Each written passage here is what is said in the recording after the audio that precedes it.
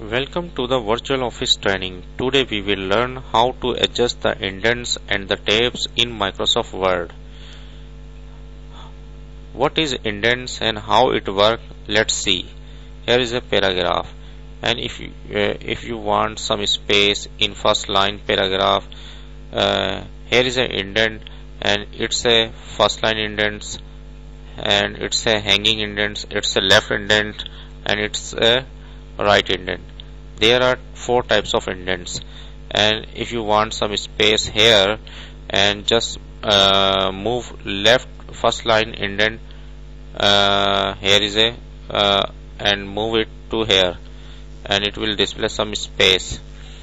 And if you want to move uh, right indent to the left and it will uh, display some space here on the right side.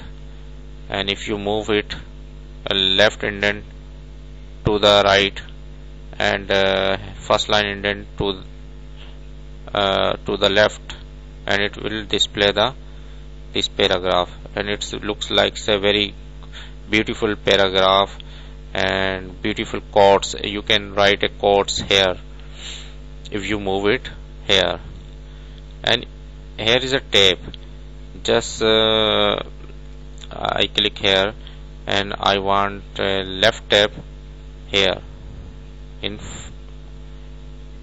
and uh, click here and it's the center tab and just click here and you can uh, uh, it has a center tab and if you have a right tab and just click here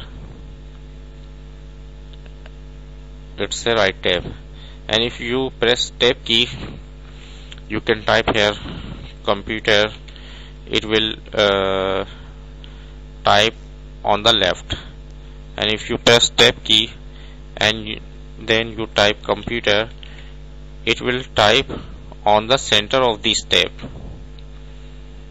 And if you press tab on the right tab you you you will see uh, if I type number it will type on the right side of the tab and you can use this tab and indent to make your work uh, easy.